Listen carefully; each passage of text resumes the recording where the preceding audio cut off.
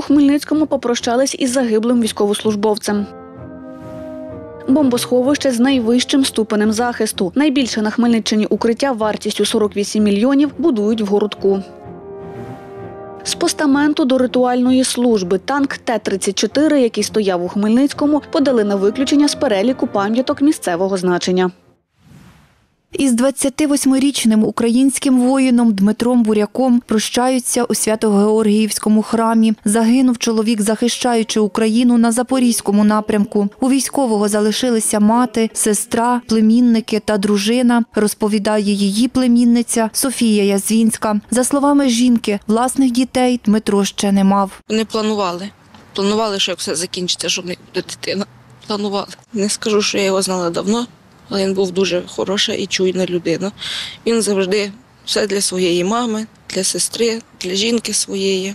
Дуже хороший був. Провести загиблого захисника в останню путь прийшли, зокрема, рідні, друзі та знайомі. Попрощатися із близьким другом свого сина, який також військовий, прийшла Люба Кирильцева. Жінка каже, із Дмитром її син дружив ще до повномасштабної війни. І син зараз там десь не знаю де. От він бідний. Дуже переживає, це був його найкращий друг. Ну, Що я вам можу сказати? Людина хороша. Не приїжджали до нас в село, привозили. Сина привозили. На церемонію прощання прийшли куми Дмитра Буряка, Віка та Оля. Кума Оля розповідає, чекали Дмитра живим після закінчення війни. Він не мав загинути, мав жити. Такі люди не вмирають. Ще зовсім молоді. Може жити і жити. У нього була дуже гарна посмішка. Любив життя. Поховали загиблого українського захисника на алеї героїв, що на кладовищі у мікрорайоні Ракове. Вікторія Мельник, Дем'ян Цегольник, Суспільне новини, Хмельницький.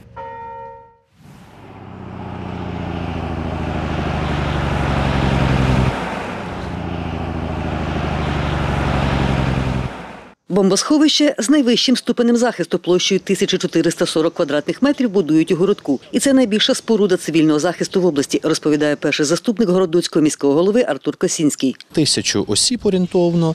Вона буде, якщо ми говоримо про, про, про клас відповідальності, клас, клас наслідків найвищий, СС-3, п'ята категорія складності. За його словами, цим укриттям користуватимуться учні, вчителі та технічні працівники двох ближніх навчальних закладів, в яких немає своїх сховищ. У випадку повітряних тривог у цій споруді забезпечений буде повністю навчальний процес з можливістю підключити комп'ютера, тематичні доски і так далі. Начальник будівельної дільниці Костянтин Снігир каже: Чотири виходи, значить, е, противобухові двері.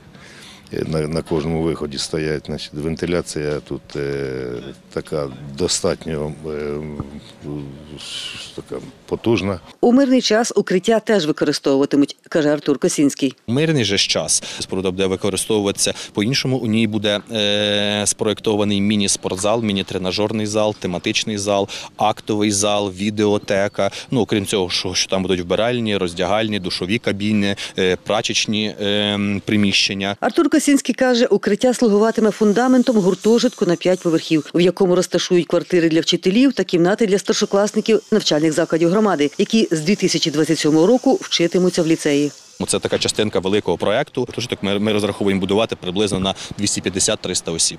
Перший заступник голови розповідає, коштує будівництво 48 мільйонів гривень, з яких 18 – державна субвенція, решта – гроші з місцевого бюджету. Частину вже взяли з казни громади, частину планують виділити рішенням найближчої сесії. Проектну кошторисну документацію на е, цю будівлю ми розробили ще до того, коли держава взагалі анонсувала субвенцію. Тобто ми до цього готувалися. Звичайно, ми р- розуміємо всі ризики, усі наслідки. Такі кошти в бюджеті є. Матеріали для будівництва, каже начальник дільниці, використовують італійські та українські. На момент зйомки будівельники вже завершили гідро- та теплоізоляцію зовнішніх стін. Гідроізоляція, значить, розчин, бітумний розчин на водній основі. Е, Який себе зарекомендував на даний час, після дощів зарекомендував наскільки, що ніде, ніде, не, не, ніде не появляється каплі води. Блоків бетонних немає, повністю моноліт. Значить, який вже на даний час завершено десь відсотків на 83. Із його слів, тепер бригада починає підводити комунікації, воду, каналізацію. За словами заступника городоцького міського голови, у тендері на будівництво цього укриття брали участь три будівельні компанії з України. Тендер виграла компанія із Волині. Вони запропонували найнижчу ціну. Артур Косінський каже, ця бригада запропонувала знизити вартість будівництва з 58 мільйонів гривень до 48 мільйонів та зобов'язалася якнайшвидше завершити об'єкт. Світлана Поробок, Віктор Кривий, Суспільне новини, Хмельниччина. Дев'ять проєктів укриттів у навчальних закладах Хмельниччини відібрали для нового будівництва, капітального ремонту та реконструкції. Про це Суспільному розповіла директорка департаменту освіти та науки обласної військової адміністрації Дар'я Басюк. На нинішній час з дев'яти об'єктів уже один завершено. Це е, сучасне нове укриття, де пройшов капітальний ремонт в Дунаєвецькій школі, в Дунаєвецькому ліцеї. Активно будуються укриття, е, які вже на рівні ПРУ в місті Городку, в е, громаді. Таке ж, таке ж укриття планується у Хмельницькій громаді в 12-й школі. І в інших громадах також е, буде або будівництво нового найпростішого укриття, або е, ремонт відповідно. Е, від ремонт в закладі освіти. Зокрема, це Полонська громада і Красилівська громада. У нас е, будуються укриття як за рахунок е, е, територіальних громад, за рахунок їх фінансового ресурсу, так і за рахунок ресурсу обласного бюджету і за рахунок е, субвенцій з державного бюджету. Зокрема, в цьому році вона складає понад 47 мільйонів гривень. Загалом, за словами Дарії Басюк, у навчальних закладах Хмельниччини 164 протирадіаційні укриття, які обладнані всім необхідним устаткуванням для перебування під час радіаційної небезпеки. Що стосується найпростіших укриттів, їх 651 в закладах освіти. Е, Крім того, серед них є споруди подвійного призначення. І ще 198 укриттів ми орендуємо в інших суб'єктів господарювання або в приватних осіб. Класифікація укриттів вона передбачена державними будівельними нормами. Там відповідно є протирадіаційні укриття, найпростіші укриття і споруди подвійного призначення. Танк-пам'ятник Т-34, демонтований у листопаді минулого року, зберігають на території Хмельницької міської рятувальної служби. Про це розповів її директор Сергій Бортник. Каже, минулого року комісійно обстежували сквер танкістів за адресою вулиця Кам'янецька, 111. де знаходиться саме цей танк, який ми бачимо ззаду. І в ході обстеження було встановлено, що постамент, який знаходиться, на якому знаходиться даний танк, він є в аварійному е, стані. Постамент руйнується, щоб у нас не було ніякого обвала, щоб цей танк не впав з постамента. Було прийнято рішення даний танк демонтувати і поки вирішення питання по суті зберігати його на нашому комунальному підприємстві. За словами Сергія Бортника, танк перебуває на балансі комунального підприємства. Балансову вартість ми не можемо його визначити. Балансової вартості немає. На території Хмельницької міської рятувальної служби демонтований танк перебуває вже рік. Що далі буде з експонатом, чиновники не знають. На думку багатьох людей, ну і власне я з цим згоден. е, Російські танки є маркером окупанта, тому е, в багатьох містах, в Хмельницькому е, в тому числі, прийнято рішення було е, позбуватися цих маркерів. Чи то буде відправка до якогось музею е, тоталітарного режиму, які в багатьох європейських державах е, музеї під відкритим небом. Е, Чи то можливо е, в якомусь е, музеї з Хмельницьких е, його буде влаштовано. Власне, бачення того поки що немає. Танк перебуває на обліку як пам'ятка історії місцевого значення, говорить заступниця начальника управління культури Валентина Лукашук. Департаментом е, у минулому році було проведено інвентаризацію всіх пам'яток історії та частину із них пропонували для виключення з державного з переліку та не внесення до державного реєстру. Серед всіх пам'яток там було в загальному 214, подали так само і три е, танки. Це місто Чемерівці, е, Кам'янець-Подільський, ще один Волочиськ. Їх в загальному було чотири для виключення з переліку пам'яток місцевого значення. Тобто, в подальшому міністерство буде приймати рішення про невключення до реєстру і е, буде знято статус з цього об'єкта. Танк Т-34 брав участь у визволенні Проскурева під час Другої світової війни, розповідає історик Ярослав Михайловський. Він був підбитий в районі села Давидківці. Потім певний час знаходився на території танкового училища, яке передувало артилерійському училищу, яке зараз прикордонна академія. От, коли вирішили зробити пам'ятник, його звідти забрали, пофарбували, і, і він там от стояв.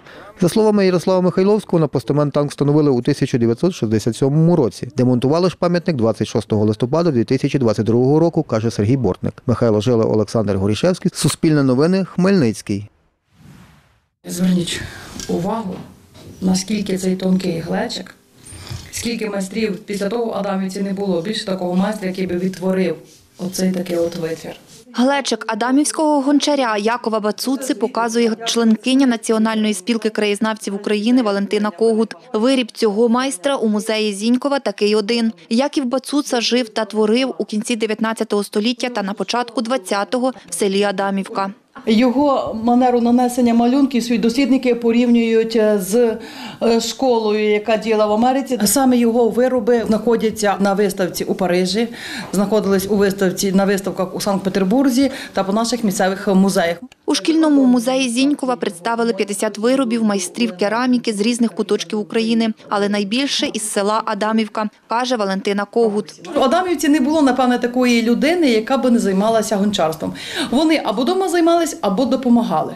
Аби зберегти культурну спадщину українських майстрів, Валентина Когут разом із сестрою краєзнавицею Галиною Бернацькою створили цей музей. В одній із кімнат представлені, зокрема, гончарний круг та уламки гончарних виробів, яким 6 тисяч років. Є цілі глечики, яким 100 років. Горщики близнюки, отак от, де мама складала з печі сюди, куди сюди борщ, сюди кашу. І діти, щоб не гаяти часу, відносили татові їсти. В іншій кімнаті є також вишиті рушники й старовинний одяг. Ці сорочки, отут, е, оце саме. Це фарбовано натуральними нитками від Вільхі. Галина Бернацька показує сумку шопер з візерунком. Це приклад давнього українського стінопису на глиняній хаті. За словами Галини, розпис вона знайшла в книгах дослідників. На сумку перемалювала його акриловими фарбами, щоб зберегти. Ми їх бачимо, що вони можуть бути і в писанкарстві, і в килимарстві, е, і ну такий е, язичницька, ота вся символіка. Це ну таке сузір'я е, трипільських орнаментів. Галина Бернацька каже, що можуть означати символи. Оце ромб, це символ поля. Якщо ж тут була крапочка, отак в нас вона тут є, це був символ стилізов... е, це символ засіяного поля. Тобто людина просить того ж самого достатку е, від даж. Як розповіла Галина Бернацька, у музеї планують облаштувати зал новітньої історії України. Вікторія Мельник, Олександр Горішевський, Суспільне новини, Хмельниччина. Першість на міжнародному турнірі з тенісу Джей 100 виборов тенісист з Хмельницького. Нікіта Білозерцев став кращим у категорії до 18 років. Про це Суспільному розповіли у Хмельницькій дитячо-юнацькій спортивній школі номер 3 Змагання відбулись у столиці Кіпру Нікосії. Україну представляв хмельничанин, вихованець дитячо-юнацької спортивної школи номер 3 Нікіта Білозерцев. Він отримав золоту медаль у змаганнях в особистому розряді та срібло у парному.